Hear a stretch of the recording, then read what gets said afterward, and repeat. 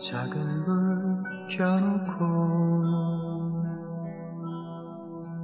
편지를 썼어요.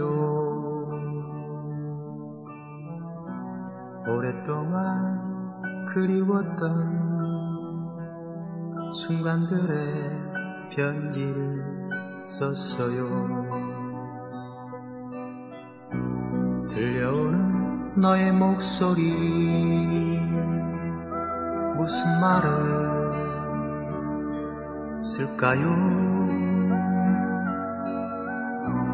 잃어버린 옛 생각 아련하게 그리워서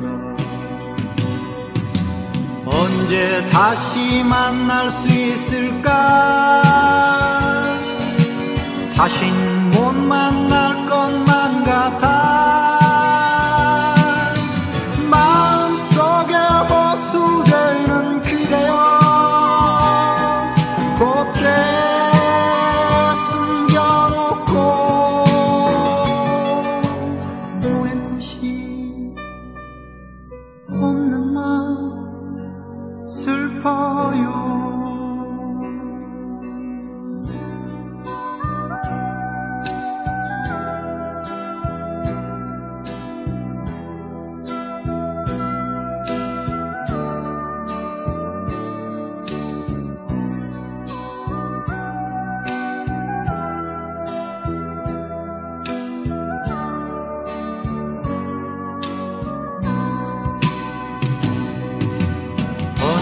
다시 만날 수 있을까?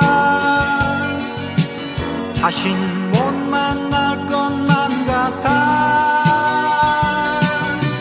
마음속에 호수되는 그대여 곱게 숨겨놓고 보낼 곳이 없는 마음 슬퍼요. 작은 불 켜놓고 편지를 썼어요. 오랫동안 그리웠던 순간들의 편지를 썼어요